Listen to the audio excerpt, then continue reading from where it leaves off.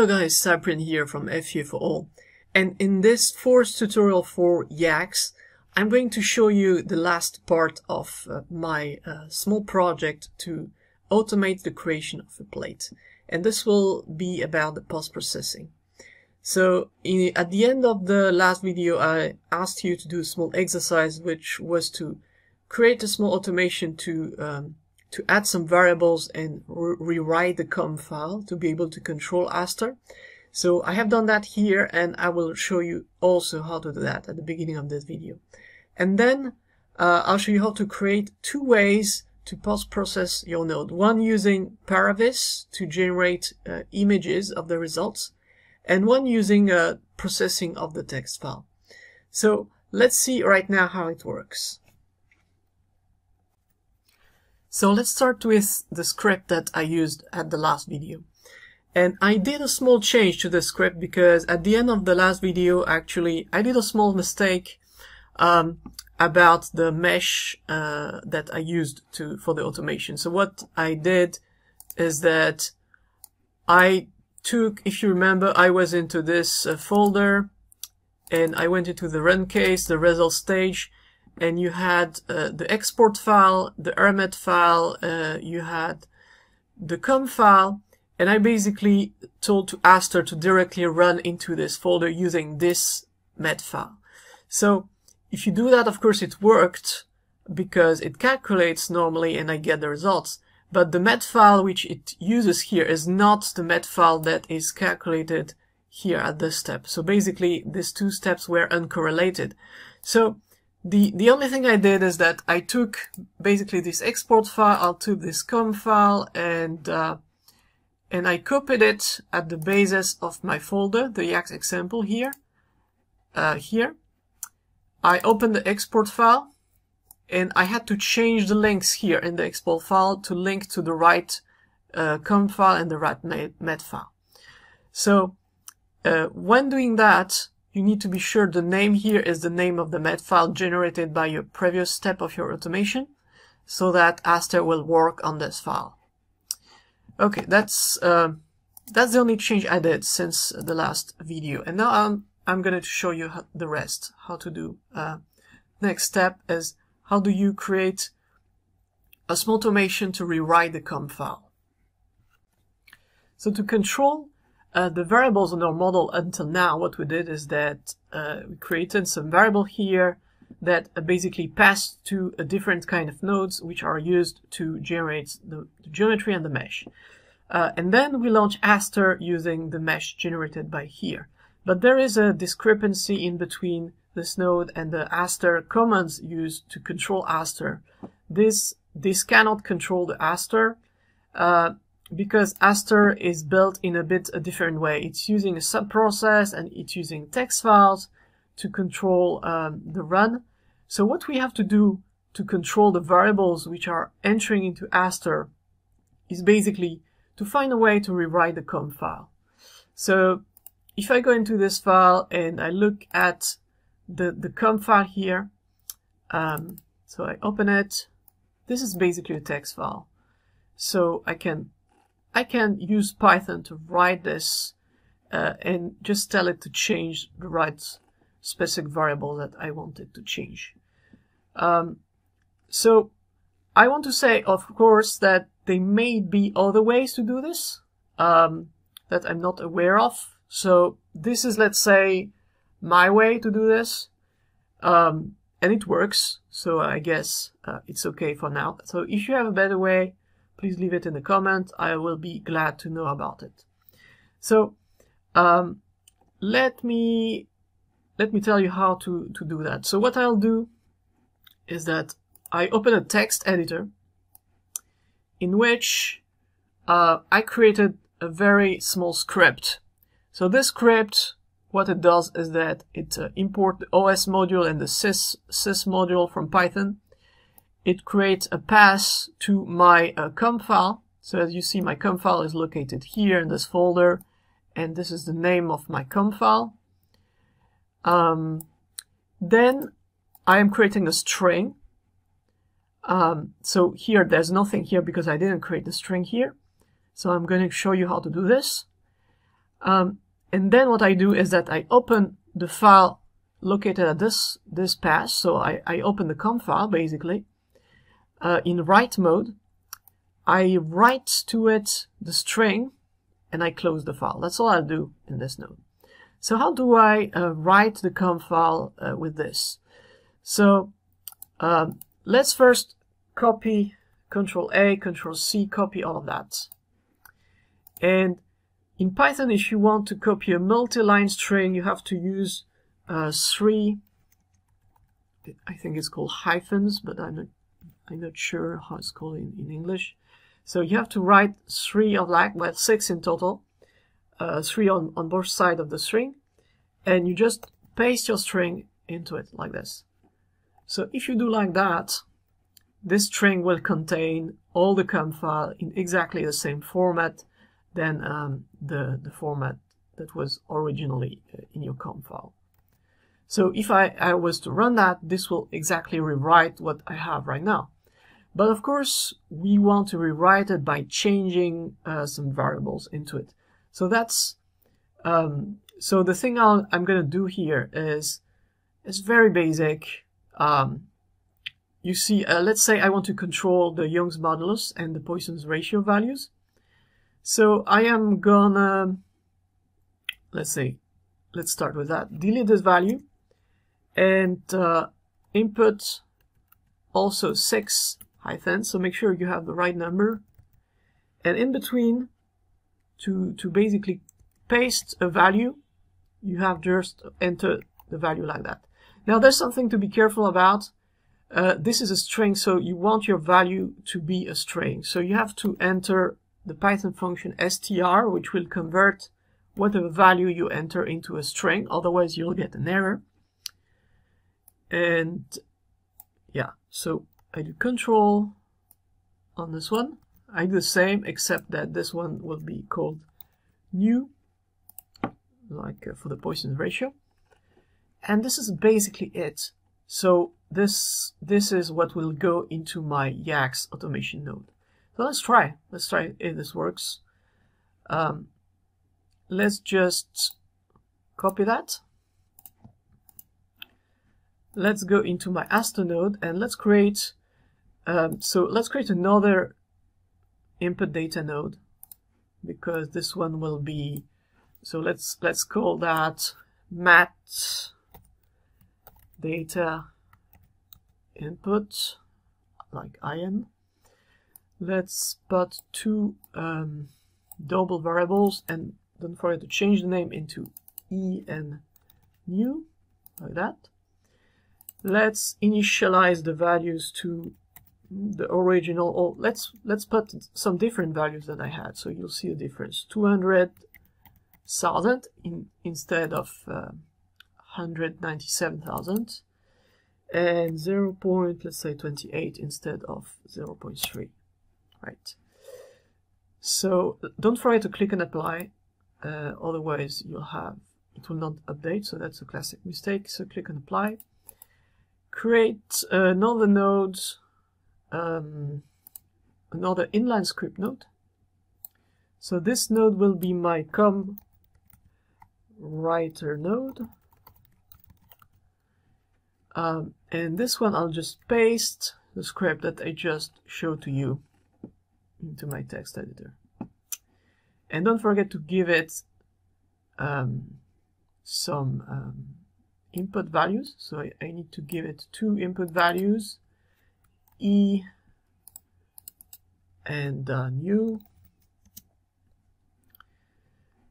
And it says not initialized, that's because I have to link this to this, and you see that now this is initialized to the value I'm putting into that. So now how do I link that to that? Well, first thing is to break the link here. So delete the item here and instead of calculating directly into Aster, I'll calculate this node here and then I'll put the end of this one to here. Don't forget to save your script, to save your project, you never know. Um, and I think we're ready to try.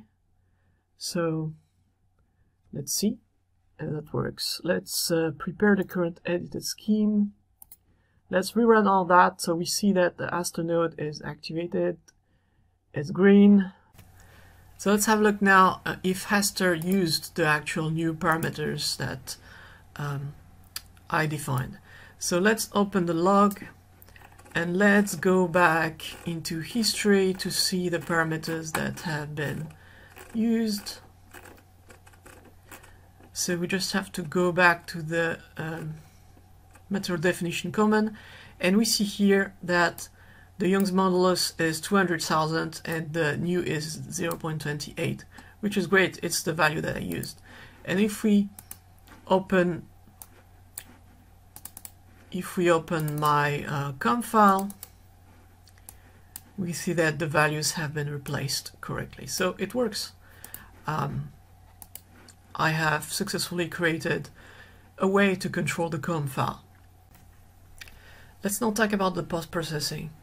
So uh, if you remember, I I generate from Aster two types of result. One is uh, the result in Paravis or ParaView format, um, and the other in text format. So I'll generate two nodes which will do separately the job of processing the data in some way using uh, both ways. So you, you have an overview of uh, the different methods you can use.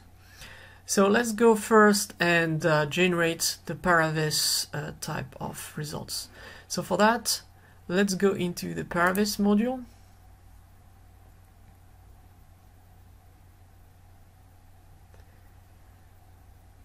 And let's open here our result.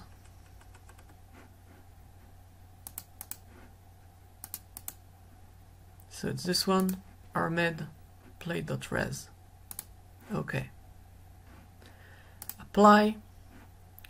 Let's put this plate in a reasonable angle, like this. Let's have a look at displacement. And let's display the mesh, like this. That will be my first, um, let's say, screen capture. So to generate a screen capture, go into File, uh, Save Screenshot you can choose to put the background or not. So I'll, I'll leave the background here. Click on OK.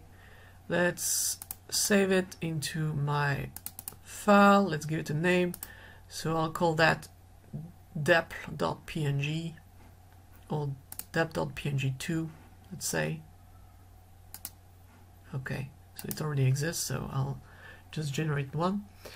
Um, and let's now display the Find me this at find me the stress at node.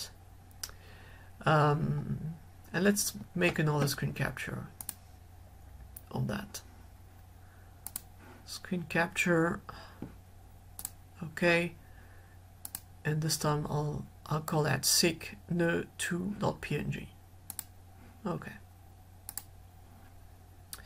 Okay and now that I've done that you can go into tools, show the trace, and here you'll basically get the code that was used by Paravis to post-process um, and do exactly what I did.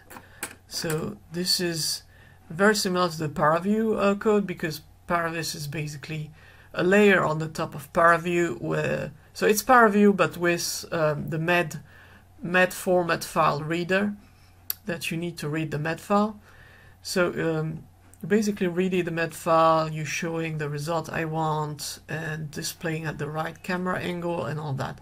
So uh, if you want to have a more detailed look and how this means and how to do Python with ParaView, uh, I have other videos on my channel that you can have a look uh, to understand how ParaView works with Python.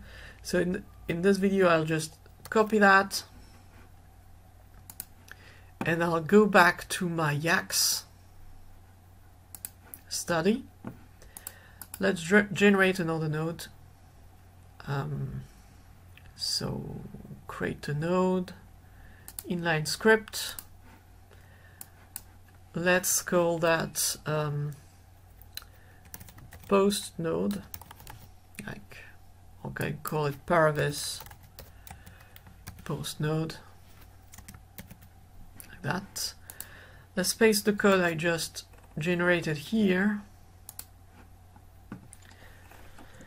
So just have to be sure that the the path to the file is correctly defined. So make sure that in your folder the path here is uh, the correct one. Otherwise, it will save the images maybe in a in another place or will not be able to to find the MED file.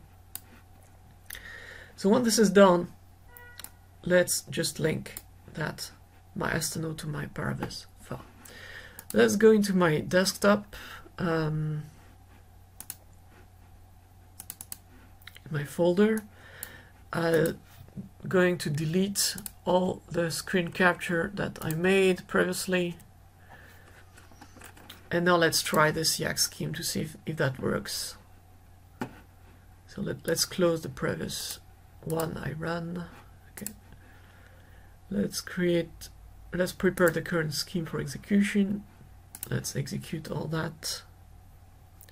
While it's blue, it means it's simulating. Oh, it's green so it should be working. Let's let's have a look if I have some errors. No errors so let's have a look. And now you see that I have this displacement um, result. So I have the two displacements so you might have some weird thing here with um, eventually the legend or um, stuff like that appearing so this is due to the, the, the script here which might need some bit of refinement in some places. So you might need to add a add a function to hide the legend in the second when you do the second screen capture or stuff like that.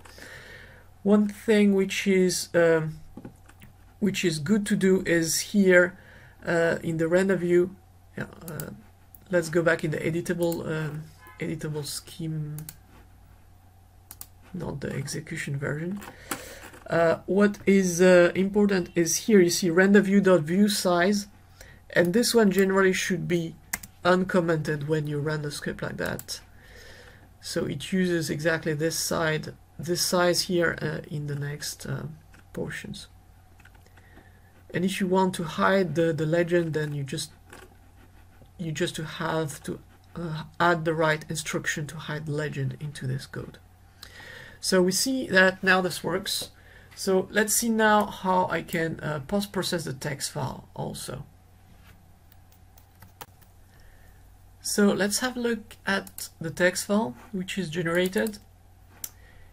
And what can I do with that? If you remember, I, I'm extracting the maximal value and the minimum value at a certain component.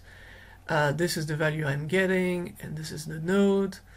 Um, well, you know, it's good to have the information in this file, but what if I'd like to get that into a CSV file where, uh, which would list up those information in a table, for example. So that will be much cleaner, um, maybe to post-process after with some other algorithm, I don't know.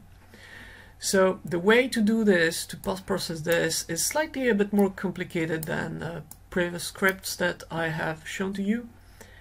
Um, but I, have already written the script here, so you can have a look.